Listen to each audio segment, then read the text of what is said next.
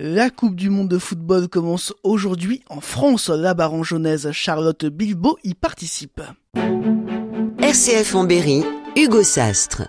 Charlotte Bilbao, vous vous attendiez à cette euh, sélection? Ça fait un an que je suis en sélection et ça se passe plutôt bien. Après, voilà, chaque sélection euh, est à prendre euh, au sérieux. Donc, voilà, depuis, depuis un moment, ça se passait bien. Donc, après, on ne sait jamais ce qui peut arriver. Il faut toujours se remettre en question après chaque sélection. Mais en tout cas, je suis très contente de cette sélection. Vous espérez une sélection des premiers matchs de phase de poule? Non, mais après, c'est pas c'est pas forcément l'objectif. Tout le monde aspire à jouer forcément, mais c'est le groupe en priorité. Donc moi, c'est pas l'individu qui va y penser. Après, forcément, j'aspire à avoir du temps de jeu, mais c'est pas le plus important. En tout cas, c'est le groupe et qui ira le plus l'impossible. Après, voilà, c'est les choix du coach. Vous avez déjà disputé des Coupes du Monde avec les U20. J'imagine que la préparation est différente. Moi, elle est différente. Après, dans l'intensité, euh, c'est différent aussi. Mais en tout cas, ça reste une Coupe du Monde. Donc, euh, on a à cœur de faire le meilleur de nous-mêmes. En tout cas, la préparation, elle se passe plutôt bien. Il y a plus de pression pour vous, vous diriez, en participant à une Coupe du Monde à 28 ans qu'à 18 ou 20 ans? Non, pas forcément. Pas du tout, même. Moi, c'est pareil. Après, c'est vrai que je suis arrivée tard en sélection internationale. Mais en tout cas, euh, la pression, pour l'instant, il n'y en a pas forcément. Donc, on verra par la suite. Vous êtes dans quel état d'esprit d'ailleurs? Bah, tout va bien, la prépa se passe bien et le groupe vit bien, donc pour l'instant euh, tout va bien. Avant de partir pour la préparation avec l'équipe de France, vous êtes euh, revenu dans votre école de Vignoux sur Barangeon, d'où vous êtes euh, originaire.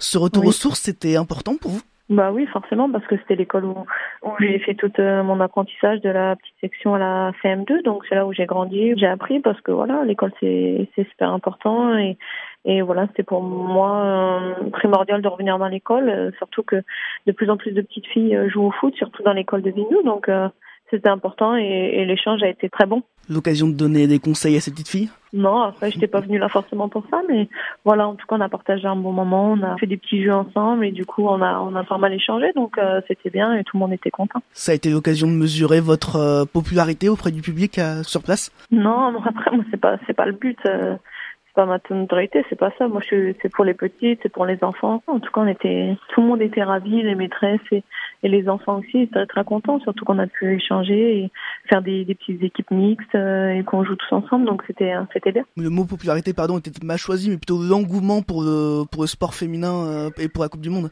Oui, bah après, voilà, je sais que dans cette école, de plus en plus de petites filles jouent au foot, donc c'était, c'était bien que, que je vienne et c'est très intéressant. Après, il y en a pas mal aussi qui font d'autres sports que le foot et, et donc du coup, c'est très bien et que, que les petites filles continuent aussi à rêver, c'est, le plus important. Est-ce que vous avez l'impression que l'équipe de France est de plus en plus populaire et a de plus en plus bonne presse de manière générale? Oui, bah, après, on voit que l'engouement est de plus en plus intense et de, de plus en plus suivi. On sait que on est de plus en plus dans les médias, on est attendu aussi, et voilà, on a à cœur aussi de montrer et de véhiculer une belle image de l'équipe de France pendant cette Coupe du Monde. Tout à l'heure, vous avez parlé euh, de l'importance euh, du groupe plutôt que d'individuel, mais est-ce que vous, vous avez un objectif euh, personnel pour cette Coupe du Monde? Non, pas forcément. Moi, c'est ma première compétition, donc forcément, j'aspire à avoir du temps de jeu, mais en tout cas, le groupe, c'est le plus important pendant la compétition, et c'est le groupe qui ira plus loin et pas l'individu.